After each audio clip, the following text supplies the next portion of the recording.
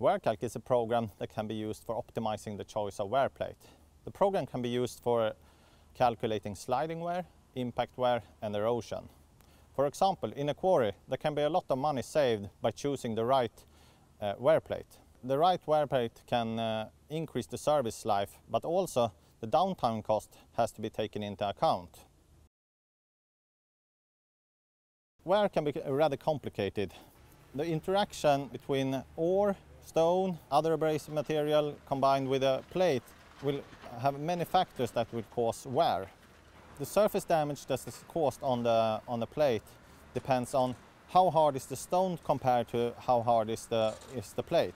For example, if the plate is hard enough to resist a scratch from the stone, you will increase the service life. But uh, if the stone is hard enough to make a scratch on the plate, then it will cause severe wear. This means that it can be big differences with choosing the right wear material combined with the abrasive material that you are handling. For example, looking at this granite rock, choosing a 400 Brinell steel will enable the stone to make a severe scratch on the plate.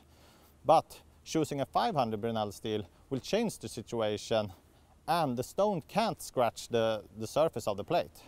But of course, choosing a harder plate will increase the risk for cracking and also make bending, welding and machining more difficult. There is always a mixture between wear resistance and other properties in the steel.